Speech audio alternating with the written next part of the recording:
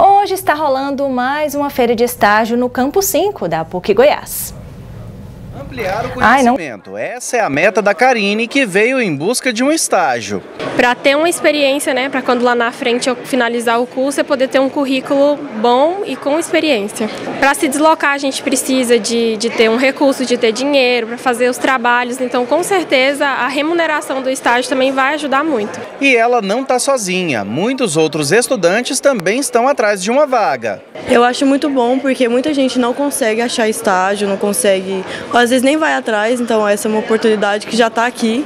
A pessoa só sentar, escrever e está na mão, assim, né? É mais fácil de, de, encontrar um estágio. Essa é a feira de estágio da PUC Goiás. O evento é promovido pela Coordenação de Apoio ao Estágio, Monitoria e Egressos e já está na oitava edição.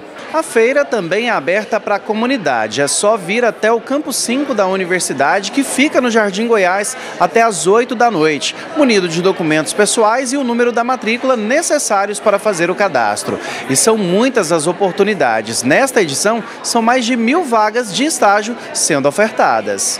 A coordenadora da KM disse que o estágio é a primeira porta do estudante para o mercado de trabalho. As inovações, o empreendedorismo, ideias novas, a criatividade e traz para aquele ambiente empresarial, aquele ambiente corporativo. E o empregador tem a oportunidade de aí treinar aquele estudante da forma que a missão, que a visão daquela empresa exige e necessita. A feira de estágio contou com a parceria de cinco agentes de integração. Um deles é o CIEE, que deu dicas para garantir uma vaga. É bom que se desenvolva na área da comunicação. Hoje as empresas elas têm muita demanda, né, por pessoas que saibam se comunicar, que saibam se relacionar.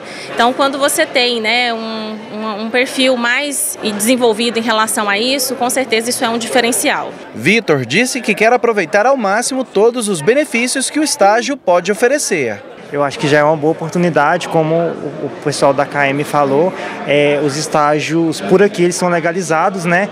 O que acontece muito de, de buscar estágio sem a legalização da, da faculdade é porque não pode contabilizar as horas, né? E a gente veio aqui para fazer algo mais certinho.